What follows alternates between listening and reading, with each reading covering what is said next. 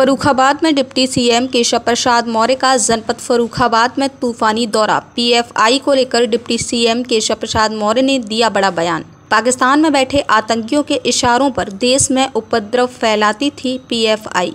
केंद्र सरकार द्वारा पीएफआई को प्रतिबंधित किए जाने के फैसले का स्वागत। अखिलेश यादव द्वारा समाजवादी पार्टी सम्मेलन किए जाने को लेकर डिप्टी सीएम ने बोला हमला। उन्होंने कहा कि समाजवादी पार्टी अब समाप्तवादी सम्मेलन कर रही है। पिछले चार चुनावों में जनता ने सपा को चारों खाने चित कर दिया है।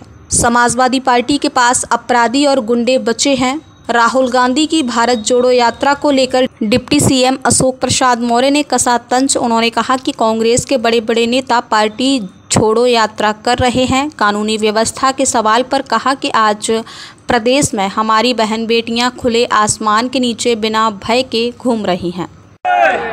ये आवाज़ है, सुन लो श्री अखिलेश यादव जी, आज उस अधिवेशन कर रहे हैं।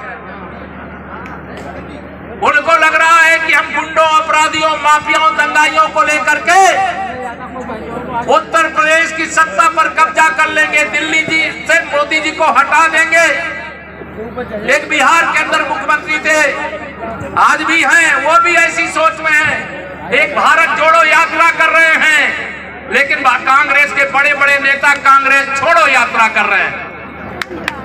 इस प्रकार के दृश्य में जो दिखाई दे रहा है देश के अंदर, मोदी जी को रोकने वालों, आपका उद्देश्य आपके लिए, अपने लिए हो सकता है, गुंडों, अपराधियों, माफियाओं के लिए हो सकता है। आपका अपने परिवार और के लिए हो सकता है। लेकिन मोदी जी का उद्देश्य देश के 140 करोड़ लोगों के लिए है। हर गरीब अमीर के लिए है, किसान मजदूर के लिए है, नौजवानों के